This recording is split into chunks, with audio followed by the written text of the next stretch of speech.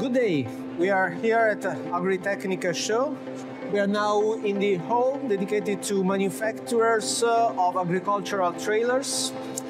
And uh, uh, tipper semi trailers is uh, one of the applications where uh, push pull couplings withstanding high flow, like uh, our uh, 3CF HF series and 4SR HF series, proves to be really useful. When the bin gets down, a massive flow of oil moves back from the trailer to the tractor, passing into one of these uh, typically half inch sized hoses. And uh, the extrusion of uh, the O rings behind the valve here and of the O ring behind the valve of the push pull coupling installed on the tractor is a pretty likely event then.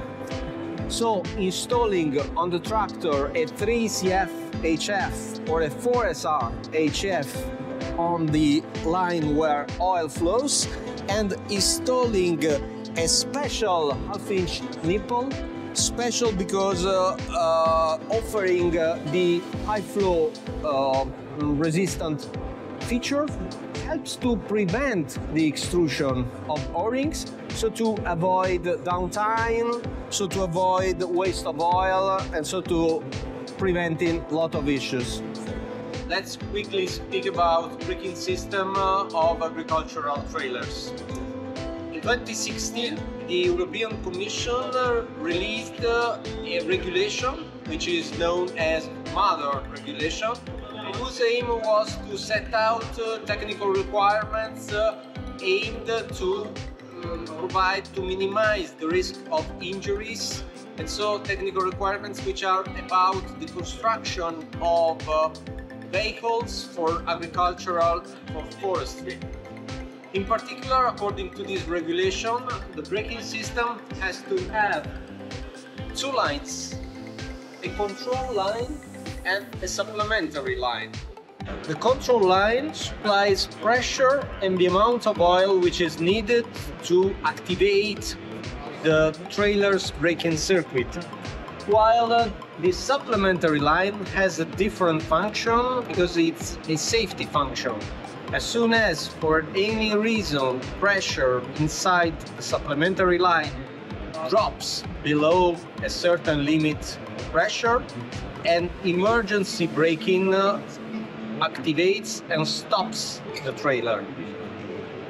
Mother regulation defines that the hose of the control line has to be connected to the tractor by means of a coupler complying with the, the ISO standard 5676, while the other hose connecting the supplementary line to the tractor has to be connected by means of a quick coupler complying with the ISO standard number 16028.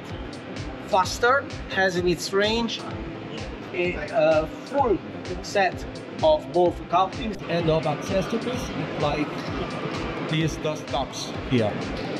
Let's spend some words on uh, Power Beyond system whose function is to deliver more hydraulic power to the implement because oil does not pass through the rear selective control valves that are behind these couplings over there. So typical issues like uh, oil overheating uh, or pump cavitation uh, can be easily avoided. In order to do so, four hydraulic lines are typically necessary. The pressure line over here, a return line, a drain line, and a load sensing line. Four lines in total, different sizes. And uh, load sensing is important because it regulates pressure and flow of oil so to address oil in the right quantity with the right pressure to the implement function that is most in need of. Faster has a complete range of flat face push-pull couplers complying with the international standard ISO 17567 and covering the four flow classes that the ISO standard specifies. I'm close to a uh, utility tractor with a front loader installed. To manage the upward downward movements of the loaders are, the operator will need to manage one function. That means two hydraulic lines for lifting and lowering the loader. To manage the tilting movements of the hydraulic attachment over there, the operator will need to manage an additional function, which means other two hydraulic lines for tilting, which is usually known as curl and dump movement. So this multifaster, four lines, very compact, is perfect for the purpose of this application. This time I'm next to a 180 horsepower tractor with uh, a front loader installed and attached to the front loader seat there's grapple bucket. So this time three functions are needed for uh, lifting and lowering the arm of the front loader one function with two lines. Then uh, another function to control the tilting movements of buckets. And finally, another function to activate the grapple. So three functions and six hydraulic lines total. So the 8 ports multifaster is perfectly suitable for that because we need six ports for the hydraulic lines, but we also need to have a couple of ports dedicated to connect the cable of the front loader.